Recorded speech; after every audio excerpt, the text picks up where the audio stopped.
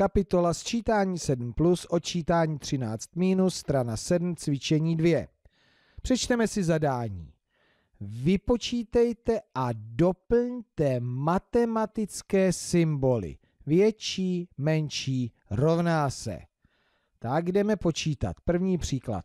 8 plus 5 rovná se 13. To už by mělo být rychle.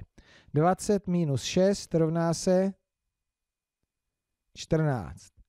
A nyní doplníme větší, menší rovná se. Tak, větší, 13 je větší než 14, to teda není. 13 je menší než 14, čili příklad 8 plus 5 je menší než 20 minus 6.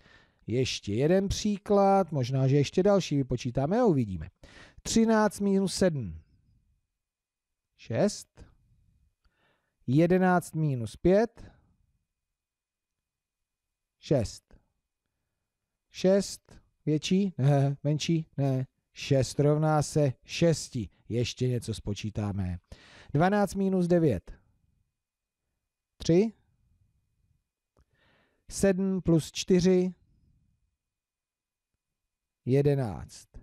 Doplníme znamenko. 12 minus 9 je menší než 7 plus 4. A ještě jeden poslední.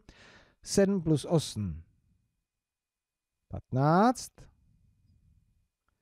9 plus 5.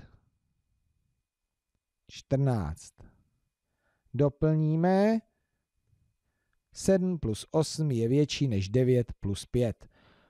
Polovinu jsme vypočítali, nyní už byste měli opravdu rychle počítat takovéto jednoduché příklady.